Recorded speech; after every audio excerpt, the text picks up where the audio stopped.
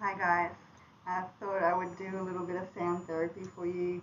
Hopefully it's good anyway. Here goes.